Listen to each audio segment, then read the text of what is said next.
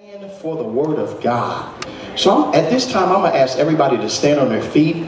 Amen. Before we bring Jermaine up. Hallelujah.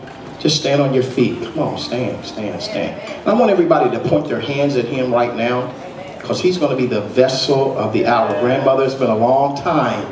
Amen. But we, we got him here to this place. And I told him in the office, I said, if you made it here, here is an indication that you're going to make it there. Amen. So I'm just blessed that he's here right now. Father, as I lay my hands on him tonight, oh God, I thank you, Father, that, oh God, that he's a word carrier.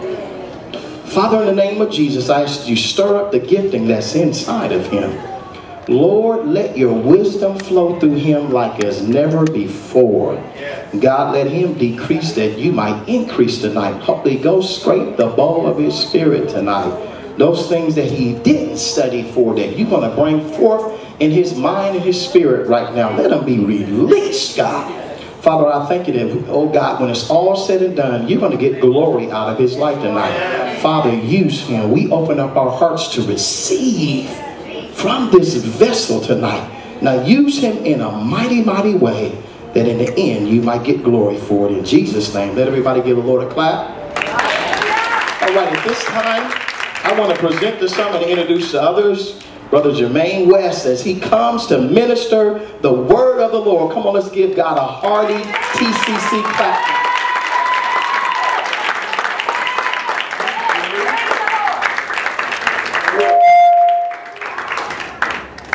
Testing, can you hear me? Yes, we can. Just give me a quick moment to get prepared here. Woo! Thank you.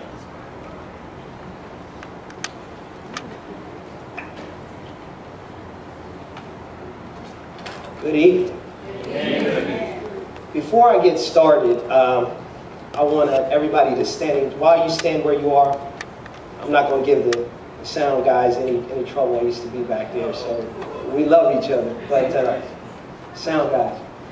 Um, what I want to first do is I want to pray. Uh, bow your heads, please, for a, moment, a quick moment of prayer. Dear gracious Heavenly Father, first and foremost, I just thank you for allowing me to be here as Pastor said, getting here is an indication of that you're going somewhere else. But you have to get here first.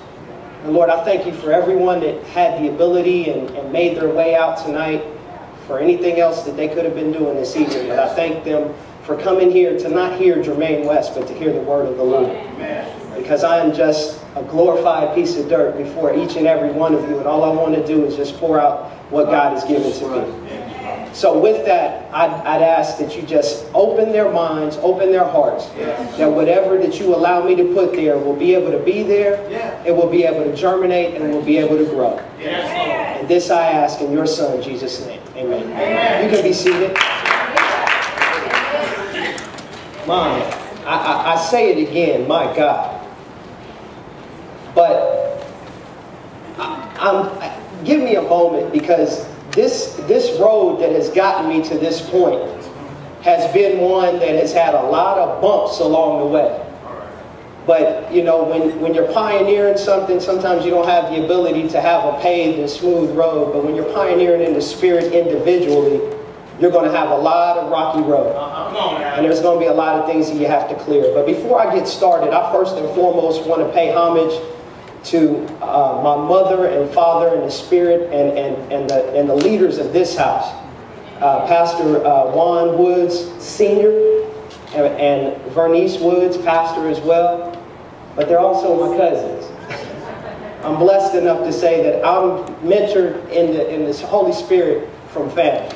Amen. And not just family in the spirit, but family in the natural as well. And I want to thank you. I want to thank you for putting up with me because I'm kind of like that kid that was the problem child.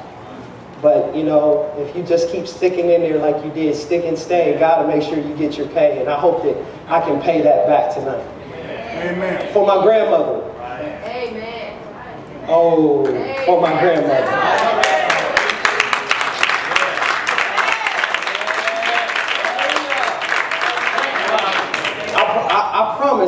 Myself I wasn't going to get emotional, but it just shows you that when God's going to lead it, you, you know, I, am seeing her crying. I'm about to go there, so I got to kind of go. But to her, she she is the one that prayed me here. Anybody who doesn't believe that, that prayer works? Hello. Intercessory prayer? Mm-hmm. She she raised me and used to always tell me as she raised me that I was her Timothy. And I never knew what that meant. But God made sure that I didn't know what it meant because He didn't want me to mess up with what she had prayed so long for. And just a few years ago, when God finally smacked me upside the head for the last time, and I finally said, Yes, Lord, I, am I'm, I'm, I'm seeing you, I'm hearing you, and yes, I'm ready to go. He revealed to me what being her Timothy was all about. And I am humbled and thankful, grandmother, for you to stick in there with me. For all of my classmates that have come before me, in, the, in our ministry training class, you know, as Pastor said, when we first started, you know, we didn't know where we were going or how we were going to get there, but we finally arrived. And when we arrived, boy, was it on. The devil just came at every last one of us, starting with Brandon and then starting with Brittany and then, and, and you know, uh, Kevin and, and Renee and Tasha and, and, and coming next week, I'm giving you an upcoming preview to coming, I mean, a preview to coming attractions. You know, they say he always saves the best for last. My cousin JJ Juan Woods Jr. will be up next week.